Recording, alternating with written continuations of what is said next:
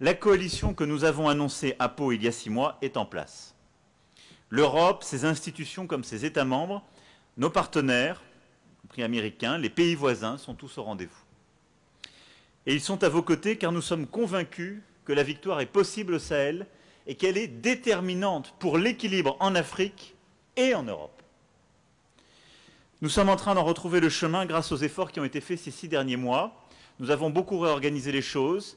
Nous avons amélioré notre efficacité dans la lutte contre le terrorisme, mieux partagé l'information, réussi le centre unique et de coordination à Niamey et eu des résultats spectaculaires, en particulier dans les dernières semaines. Dans la région des trois frontières, des zones ont été reprises au groupe terroriste, les armées se redéploient, le rapport de force a été inversé.